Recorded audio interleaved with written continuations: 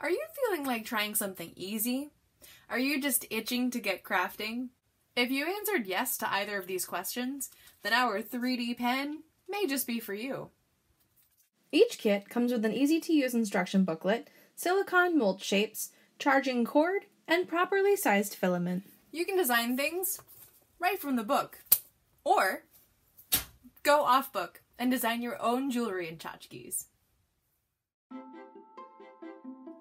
Items check out for two weeks, so feel free to craft to your heart's content.